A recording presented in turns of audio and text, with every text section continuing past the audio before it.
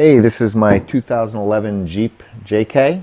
I just bought a brand new pair of LED Daymaker headlights and fog lights. Going to install them. Let's take a look at them first.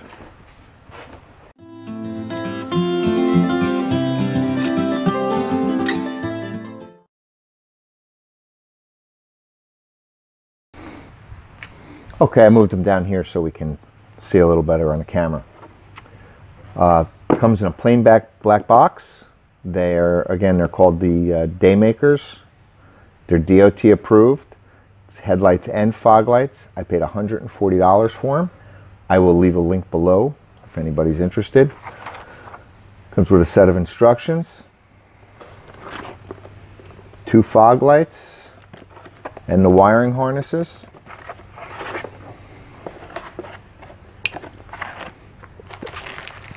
Look at the headlights. Here's the headlight. That's what it looks like. And this also comes with an adapter harness. All right, let's get to the Jeep. Okay, so the first thing I'm gonna do is take the front grille off, and that's real easy. There's these little black tabs here. There's six of them. You just pull them off, and they come right out, and the grill will come off.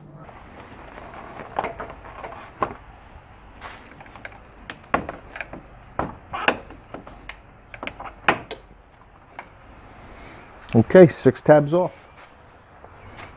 Okay, so the next part, this is nice and loose here. Now this should pull right out. There's clips under here.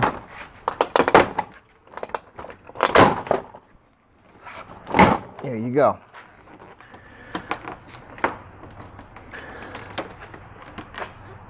I can also unplug these light bulbs come right out and that lifts right out. Okay, the headlight has four mounting screws for this ring. Uh, again, mine is a 2011. This screw is a a T15 Torx. So, hmm. take these out.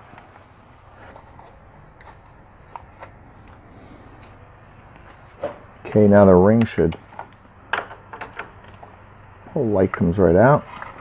And as I can see, the wiring is very tight. Push that red clip up.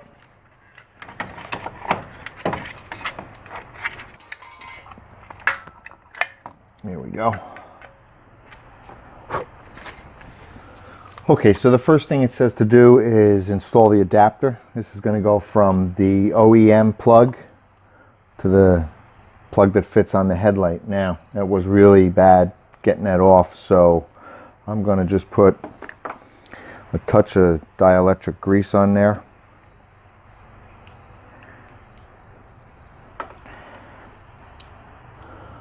Plug that in push the red tab down and then that's locked in.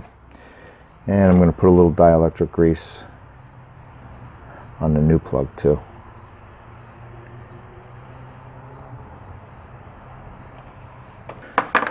Okay, the second part says to install with the arrow up. Well, this doesn't have an arrow, but it does have a DOT SAE, and I'm going to assume that's up the way it's written. So we're going to take the ring, which fits that way, and put it on the headlight. Turn this over. Plug this in.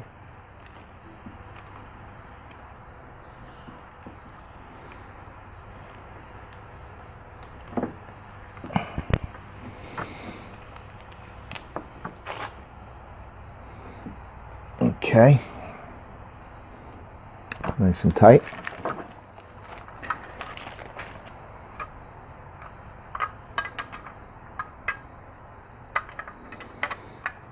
Get the wiring in here.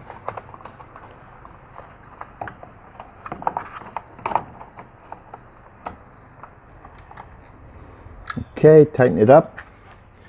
Make sure it's in the ring properly. Now, before I put the grill back on, I'm going to have to adjust these. Make sure they're pointing, they're not pointing up or down. There's an adjustment screw right here and that will raise and lower the light and that's also a T15 bit. Okay, we got the driver's side light off. Same thing, I'm going to use a little dielectric grease on the connections.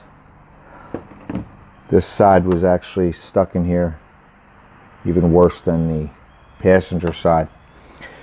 Okay, so the first step is to connect my adapter.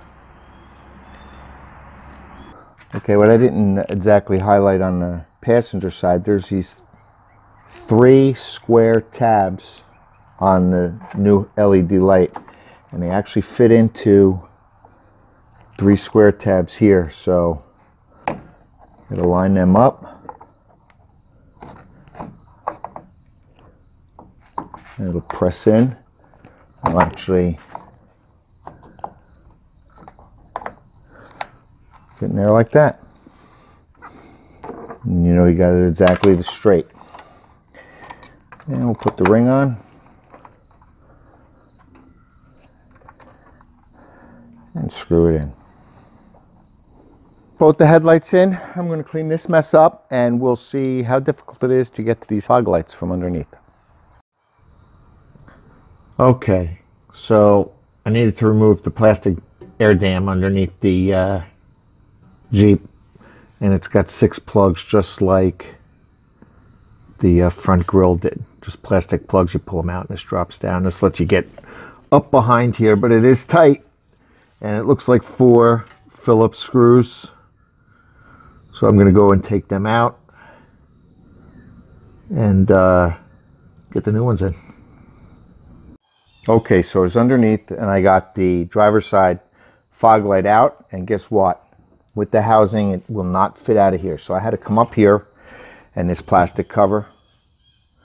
I had to take the pins out of that and move it over so I can come in here and I don't know if you can see in there.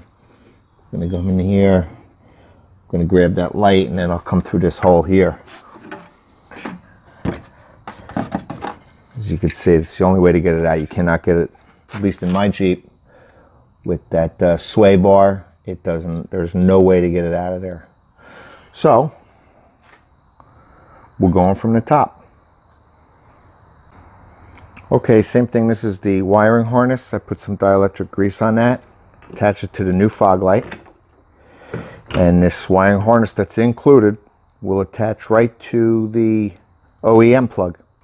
So I'm going to go back underneath, plug it in, and get it back in.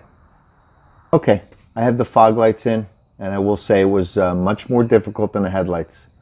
It's very tight back there on uh, the JK stock bumper. And due to the uh, anti-sway bar there, you can barely get any type of visual with your head in there. So you're kind of working blind. But it's only four small screws each one and then just plug them in. So they're in. Now let me put all this back together and uh, we'll see how it looks finished. Okay, the headlights are in. They look great off. Nice dark look. Definitely an improvement. I'll go turn them on and we can take a look at how they look on. Okay, and that's with them on. Nice and bright. Everything works. Fog lights are super bright. Looks good. Again, I only paid $140 for these. They work nice. The headlights installed, no problem. The fog lights were definitely a little more difficult uh, just because of the limited space back there with the OEM bumper. Uh, I would say if you're just doing the headlights, uh, literally would have taken me 20 minutes. Headlight, uh, the fog lights made it a 90 minute job. But all works good. They came with all the harnesses required to attach to the OEM plugs. And the fog lights even came with a raw harness in case you never had them before, you can connect them. So that came with two harnesses. Again, $140. I'll leave a link below where I got them. And uh, if you have any questions, hit me up in the comments. And as always, thanks for watching.